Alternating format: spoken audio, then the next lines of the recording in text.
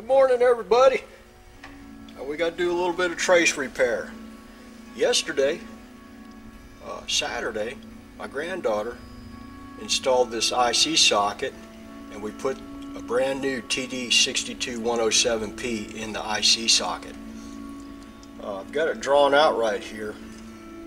I like to do that whenever I have an IC short circuit. This is it right here. And you can tell, let me see if I can get in the camera here. See if you can see the IC cracked open right there. Can you see that? That IC shorted and burst open there in the middle. Whenever you have something like that, you have to check the traces uh, on the input side and on the output side. This is a driver IC right here, the TD62107P. Uh, and it goes to this connector right here on the bottom. Let me flip it up so you can see it. There's two ribbon connectors right here, one on top and one on the bottom. And it goes to this bottom one right here on uh, pins A15, B15, A16, and B16. Uh, A being on top and B being on the bottom row. And I found that I have traces from output 4, output 3, output 2 to their respective pins on that bottom connector, but I don't have continuity from output 1 to A15. Uh, this right here, the Fanuc ZICO, is this large IC right here. And it turns on all of these driver ICs connected to these two output connectors right here, the ribbon connector. Let me move this out of the way and I'll show you the blown trace if I can get close enough. Let's see if I get in the camera right here. And can you see that right there? Can you see that trace is scorched? That's the blown trace and it goes to pin A15 on that bottom connector.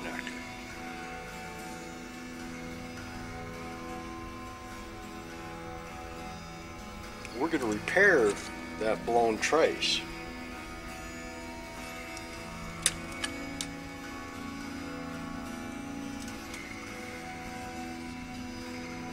Close-up of my drawing.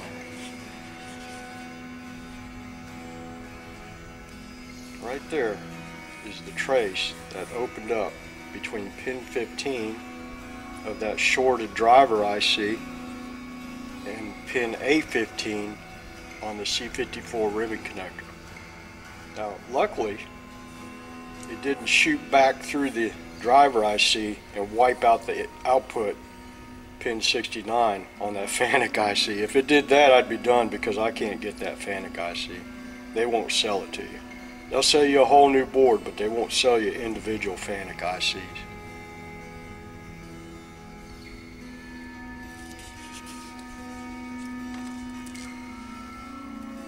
Alright, let's repair that trace. I'll show you how to do that. It's real easy. Nothing to it.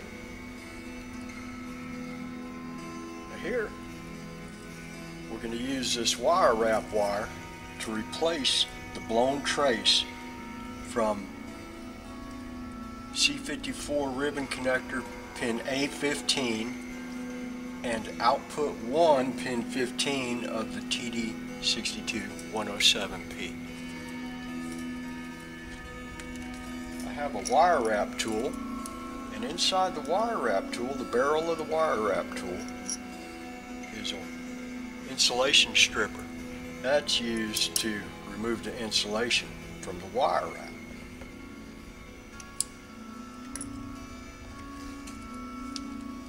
Picture of this before we repair it. I always like to get a picture of the work that I do.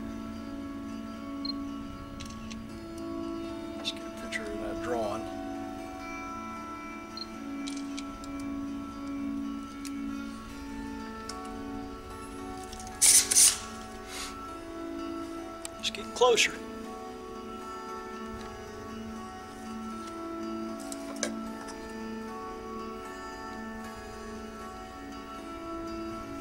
Right there, you can see the blown trace. That's the one we're going to fix.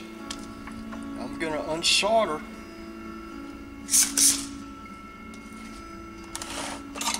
pin A15. Then we're going to connect this wire wrap wire to that pin. Now we got to be careful. We don't want to we don't want to connect it to any other pins there. we'll be creating a short circuit.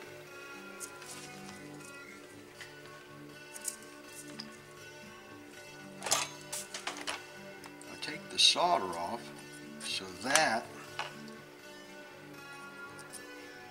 that helps me hook the wire wrap wire to the pin. Just like that right there.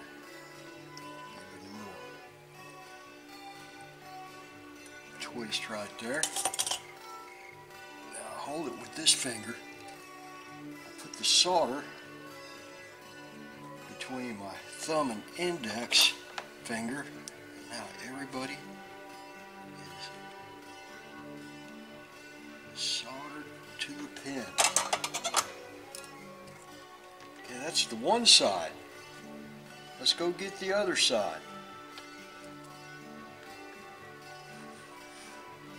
Okay, here's the IC socket that my granddaughter soldered in yesterday.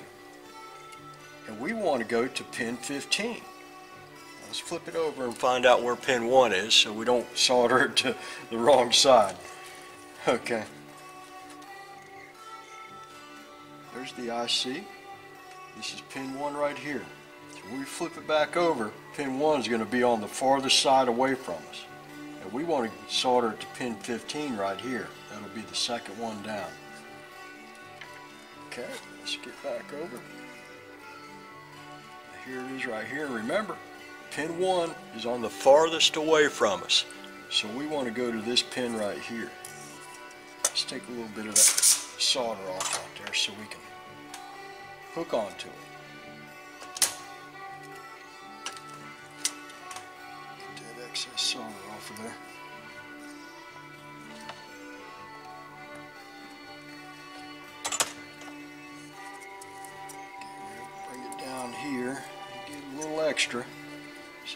Route that wire the way you want it. That'll be enough right there.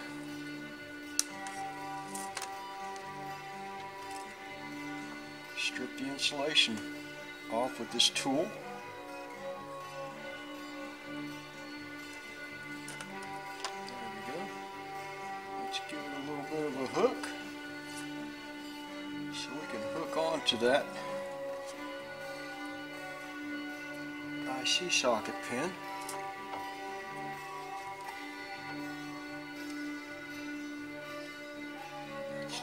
One to go to. There.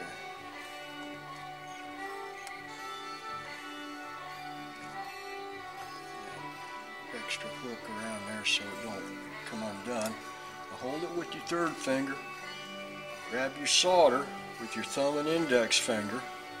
Your third finger holds the wire so it don't pop off that pin. Can you all see that right there? I'm in the way again. there we go.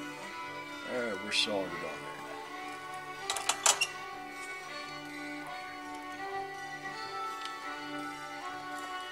Get my wire routed the way I want it so it looks nice.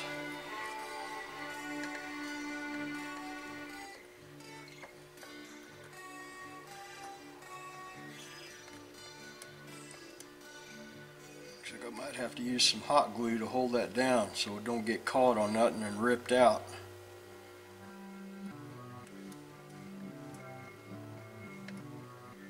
There we go. That looks good. Uh, here's pin A15 on the bottom connector. And here's pin 15 on the TD 62107. Get a picture of that finished work right there.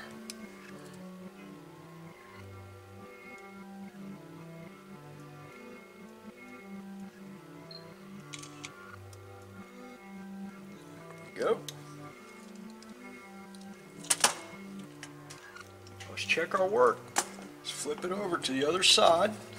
You always want to check your work. Let's throw our meter in here.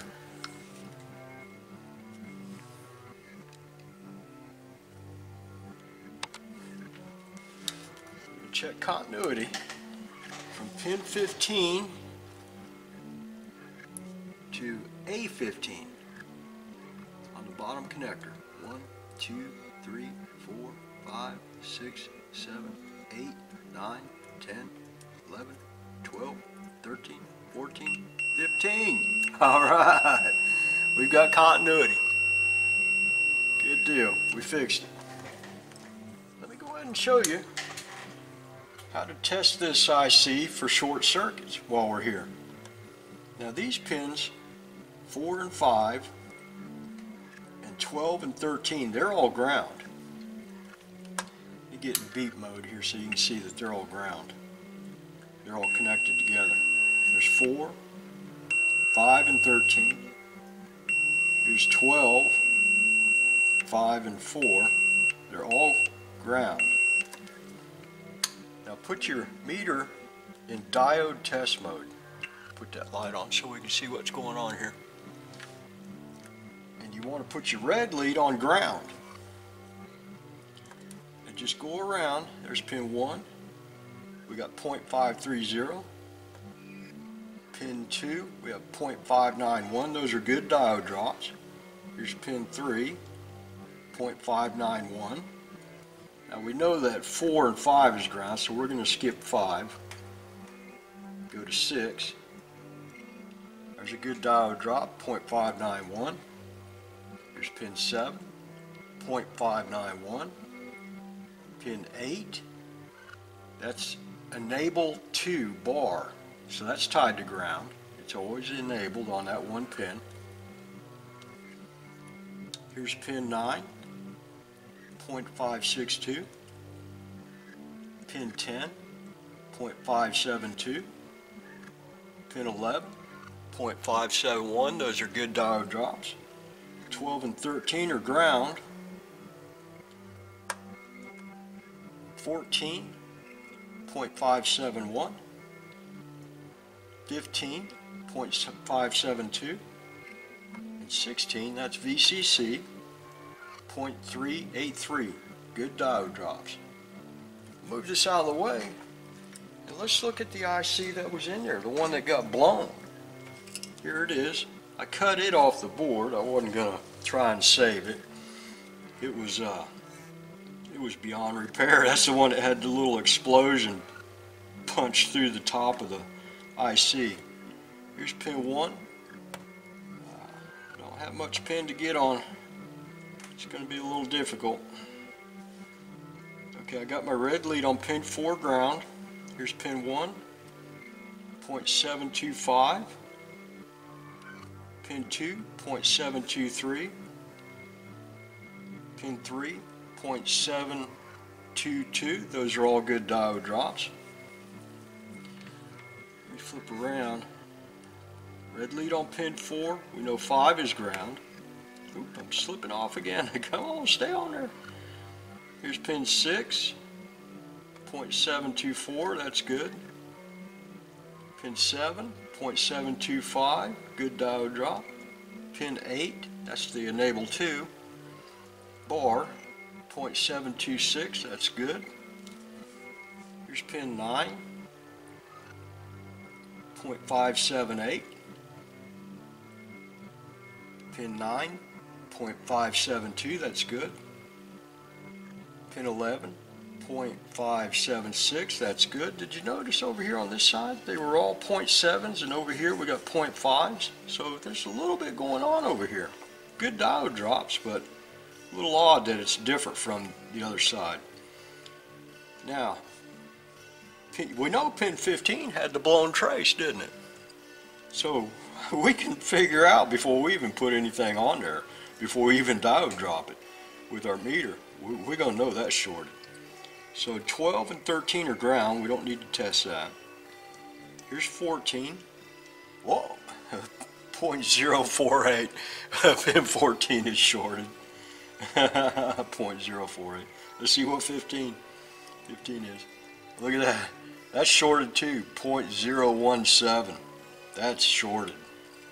That's not a good diode drop. Let's check the VCC pin. Oh, look at that. 0.018. That's shorted too. Oh man. Okay. So this end up here was blown. They're going to have to check their machine because something out there in the machine pulled too much current through those outputs, through those driver outputs, and blew this IC. So even though we've fixed the board, if we don't check the machine to see what shorted those two outputs, we're going to pop this IC too and maybe open up a couple of more traces. so we're done here in the shop but they got a little bit more work to do over at the machine. I got to find out what's shorted out there at the machine that pulled too much current through this driver IC. Alright folks, thank you for stopping by and watching us fix that FANUC board.